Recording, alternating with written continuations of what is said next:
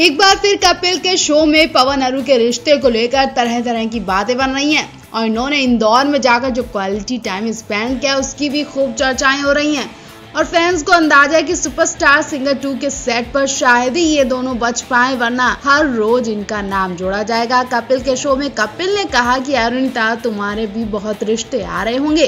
कपिल का मतलब कहीं ना कहीं इस तरफ़ इशारा कर रहा था कि पवन का रिश्ता आया कि नहीं आया। अरुणिता ने आज भी मना कर दिया और पहले भी मना कर दिया था।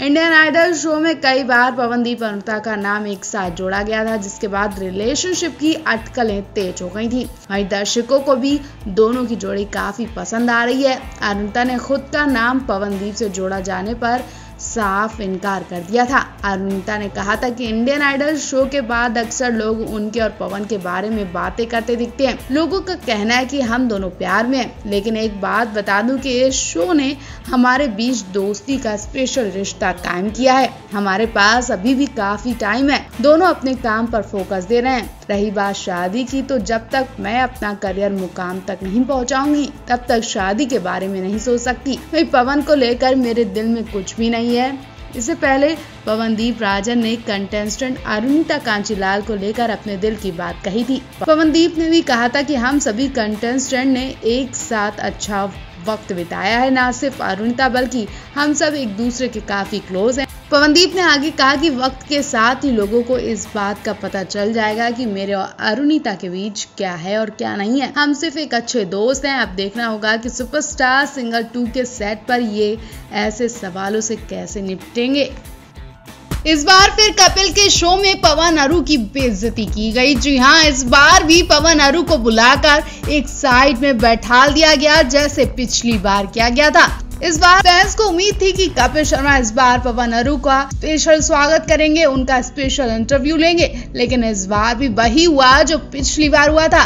जबकि इनकी जगह अलका याग्निक हिमेश रेशमिया, जावेद अली के साथ शो कंप्लीट किया गया। माना कि ये लोग शो के जजेस हैं, लेकिन पवन अरू भी शो के कैप्टन हैं तो उन्हें इनके बराबर क्यों नहीं बैठाला गया? हर बार कपिल अपने शो की टीआरपी के लिए पवन अरुणिता और उनके साथियों का इस्तेमाल करते हैं। जो यहाँ फैंस कुछ ऐसे ही कमेंट्स कर रहे हैं, जब कपिल के शो की एक छोटी सी झलक देखी गई। कपिल शर्मा अपने शो में जजेस का स्वागत करते हैं, उसके बाद कैप्टन का स्वागत करते हैं और ये सारे कैप्टन यानी पवन अरु दानिश सलमान सबके सब गाना गाते हुए शो में एंट्री करते हैं। इनके साथ शो के कंटेस्टेंट भी होते हैं। पवन अरुणिता इनके ही साथ गाना गाते दिखाई दे रहे हैं और फिर शो से ये अचानक सब गायब भी हो जाते हैं। क्या कपिल ने इन्हें यहाँ भी गाने के लिए ही बुलाया था? कुछ ऐसे ही सवाल पूछे जा रहे हैं कपिल से।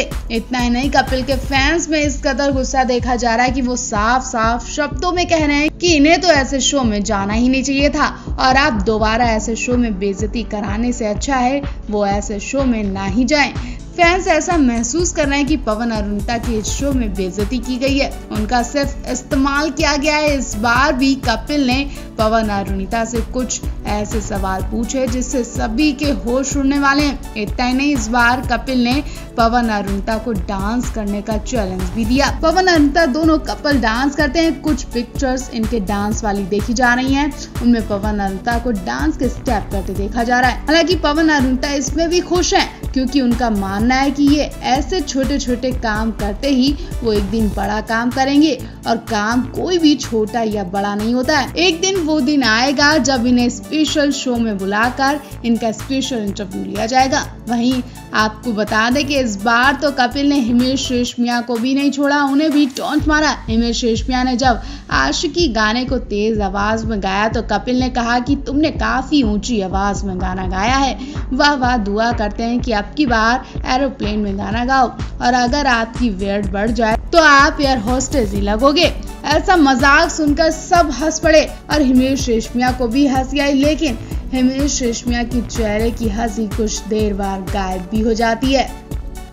पवन अरुणिता का नाम अब अलग अलग लेना मुँह को भी अच्छा नहीं लगता है। फैंस और दर्शकों को कैसा लगता होगा, वो तो वही जाने। अरुदीप आप लोगों के दिलों में ऐसे राज कर रहे हैं कि दर्शक इन्हें एक साथ देखने के लिए मौकों का इंतज़ार करते हैं। और अब दर्शकों के लिए ये खास मौका भी मिल गया है, जब पवन अरु एक साथ एक मंच पर काफ़ी दिन तक टाइम स्पेंड करने वाले हैं। मौज मस्ती करते दिखेंगे और बहुत सी क्यूट मज़ेदार वीडियो भी इनकी आने वाली है। इंतज़ार हो रहा है जब पवन अरु इस मंच पर न केवल रोमांटिक गाना गाएँगे, बल्कि एंटरटेनमेंट के लिए जोड़ी डांस भी करने वाली है, जिसका इंतज़ार भाई बेसब्री से किया जा रहा है। और अरुणिता तो अपने क्यूट लुक से पवन को पागल करने वाली हैं। पहले इस वक्त इनकी जो फ़ोटो वायरल हो रही है, उसको लेकर खूब चर्चाएँ हो रही हैं। दरअसल एक फ़ोटो में पवन अरुणता को बेहद क्लोज होते देखा गया। पवन अरुणता की कमर पर हक से हाथ रखे हुए हैं। उनकी कमर को पकड़कर फ़ोटो क्लिक करवा रहे हैं। जी हाँ ये फ़ोटो उस वक्त का है जब ये यूएसए में थे। ये फ़ोटो इस वक्त खूब वायरल हो रही है और कमेंट्स की तो बाढ़ आई हुई है। हालाँकि ये फ़ोटो यूएस टूर के वक्त की है, जब एक इंटेंस टूर की परफॉर्मेंस में अरुणिता ने ब्लू साइनिंग शर्ट और पैंट पहनी थी। तो वहीं पवन ने प्रिंटेड शर्ट जीन्स और उत्तराखंड की कैप लगाई हुई थी। ज़बरदस्त परफॉर्मेंस देने के बाद पवन अरु का इंटरव्यू लिया गया और इस बीच पवन अरु इंटरव्यू में इतने ज़्यादा खो गए, इतने ज़्यादा खुश थे कि उन्हें पता ही नहीं चला कि वो एक दूसरे के इतने क्लोज होकर खड़े हैं। पवन अरुणिता की कमर को प्यार से पकड़कर पोज देते हुए नज़र आए, जबकि अरुणिता भी पवन के कंधे पर सिर रखकर हक से पोज दे रही हैं। तो इस फ़ोटो के लिए आप क्या कहेंगे? आपके मन में क्या विचार आ रहे हैं? कमेंट बॉक्स में लिख कर बता सकते हैं। हाल ही में अरुणिता कांजी लाल ने यूएसए से एक वीडियो शेयर की थी, जिसमें वो मोहम्मद दानिश के साथ क्यूट वॉक करती नज़र आई थी।